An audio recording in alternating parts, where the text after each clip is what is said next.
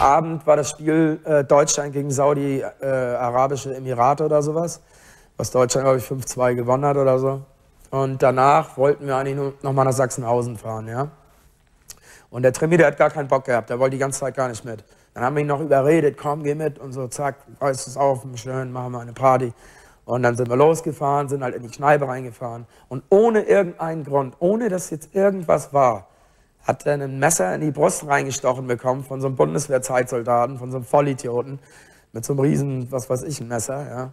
Und äh, ja, ich habe Tremi nur noch gesehen, wie er wankend zum Ausgang ist. Ich habe ihn in den Arm genommen und dann ist er in meinem Arm gestorben. Die Zeit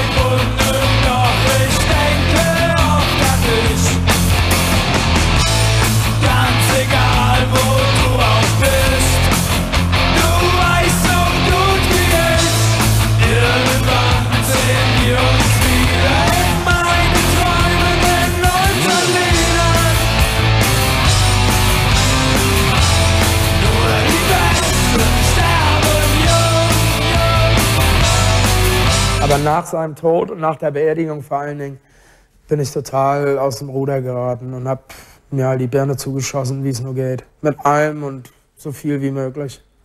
Und äh, das ging halt ein paar Jahre ganz schlimm.